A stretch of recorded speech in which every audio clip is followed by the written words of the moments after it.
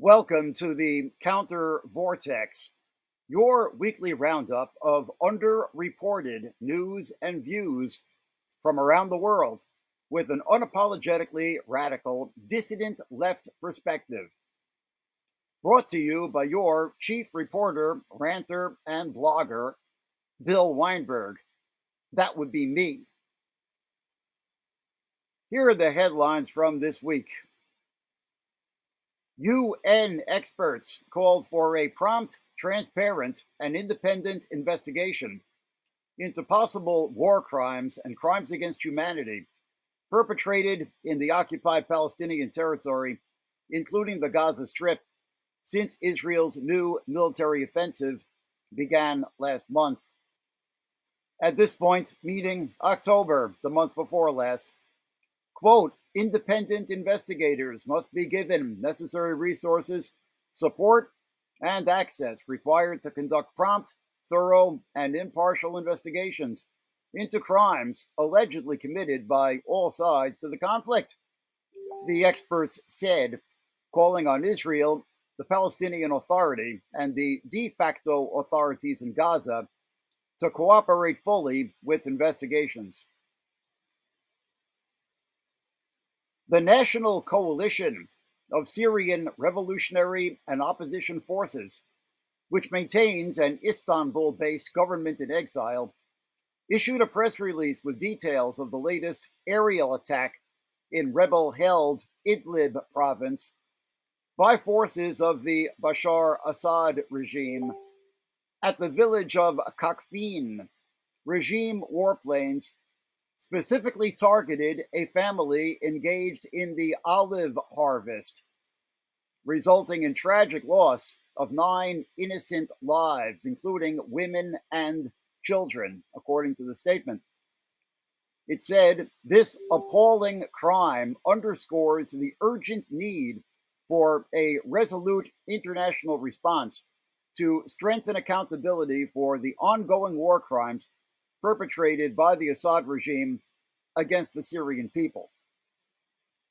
Burkina Faso's emergency aid and security challenges are deepening as the junta led regime pursues an aggressive military campaign against jihadist insurgents who have now extended their control to some 40% of the national territory.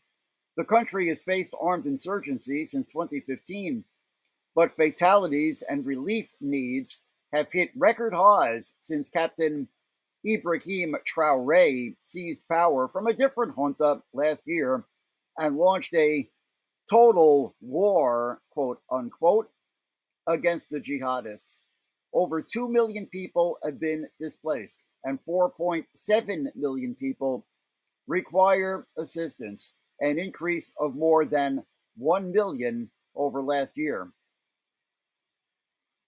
The Chinese government has increased mosque closures in northern Ningxia region and Gansu province, home to significant populations of Hui Muslims, according to a report by Human Rights Watch.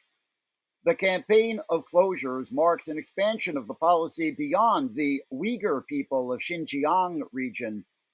Officially termed consolidation, the campaign calls for shutting down mosques or modifying their architectural features to align with more typically Chinese aesthetics.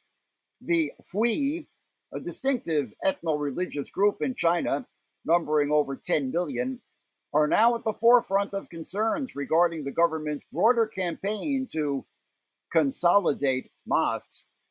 The campaign, which began five years ago in Xinjiang, presaged the mass internment of Uyghurs in the region. A clash between thousands of monarchist protesters and police took place in Kathmandu, Nepal. Police used tear gas and water cannons to disperse protesters who chanted slogans in support of the former king, Gyanendra Shah, and attempted to storm barricades protecting government offices monarchist leader and prominent businessman Durga Prasai has allegedly been under house arrest since the protest, and his followers have filed a habeas corpus petition with the Supreme Court for his release. The monarchy was abolished in 2008 pursuant to the decision of a constituent assembly formed under an agreement that put an end to months of pro democracy protest in 2006. But a right wing coalition, prominently including the Hindu nationalist Rashtriya Prajatantra Party, has launched a campaign for its restoration.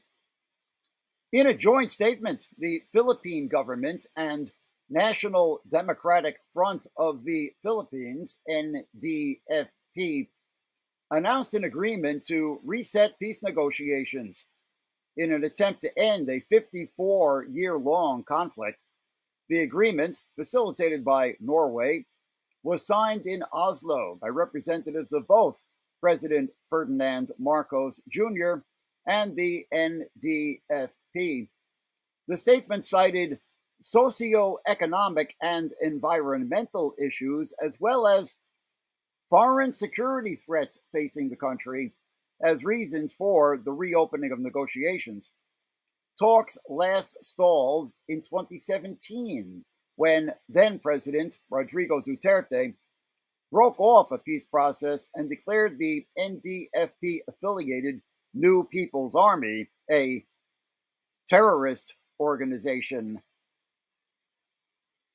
In a disturbing coincidence in Missoula, Montana, a Palestine solidarity march to protest the bombardment of Gaza ran into a separate but simultaneous anti Israel march by neo Nazis.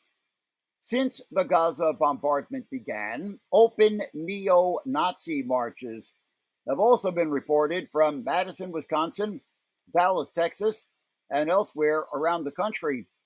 Yet, in addition to displaying enthusiasm for Hamas, their banners also read, Refugees Not Welcome.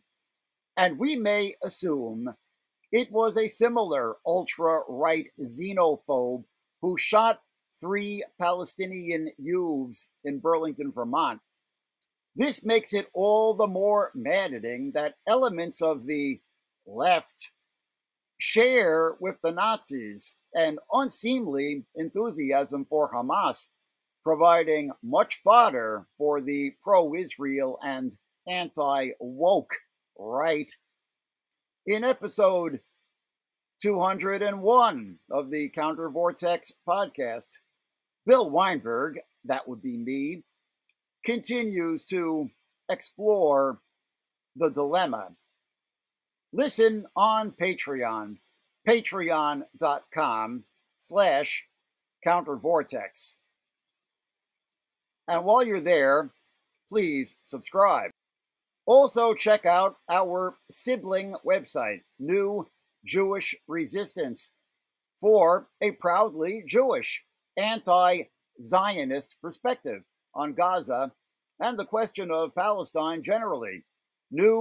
NewJewishResistance.org, fighting Zionism and anti Semitism, defending pan Semitic unity. And do follow us on social media Facebook, Twitter, Instagram, YouTube, and Twitch. And please join us next week for the Counter Vortex.